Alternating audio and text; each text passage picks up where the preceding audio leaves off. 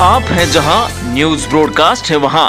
अदिति की प्रेगनेंसी का सच जानकर फूटने वाला है। संध्या का गुस्सा सुना देगी सिमर को खरी कोटी। जी हाँ आप सभी ने सही सुना हम बात कर रहे हैं सीरियल ससुराल सिमर का सीज़न टू के बारे में। जहाँ पर अब अपकमिंग ट्रैक में आप सभी को काफ़ी ज़्यादा हाई वोल्टेज ड्रामा देखने को मिलने वाला है, क्योंकि जहाँ एक तरफ़ अदिति की हो चुकी है मयंक संग शादी, जबकि अदिति हो गई है प्रेग्नेंट जी हाँ बता दें आपको कि अब जैसा कि हाल ही में शो का प्रोमो आउट हुआ है, जिसमें डॉक्टर इस बात का खुलासा करते हुए नज़र आ रहे हैं कि अदिति प्रेग्नेंट है और ये बच्चा किसी और का नहीं, बल्कि गगन का ही, गगन का ही है। लेकिन हम सभी को बता दें कि यहाँ पर अब संध्या, जो कि बीच में सम, सिमर को प्यार करने लग गई थी। उसे अपने बहू का दर्जा दे रही थी लेकिन अब उसका गुस्सा फूटने वाला है क्योंकि संध्या इस बात का पूरा का पूरा ब्लेम डालने वाली है सिमर पर।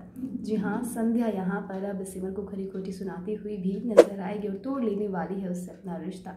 और देखना इंटरेस्टिंग होगा कि आखिरकार अब अदिति और मयंक की प्रॉब्लम सॉर्ट आउट करते करते अपनी सास संध्या को किस तरह से मनाएगी सिमर? तमाम तरह की अपडेट जानने के लिए बने रहिए हमारे साथ और सब्सक्राइब कर लीजिए हमारा चैनल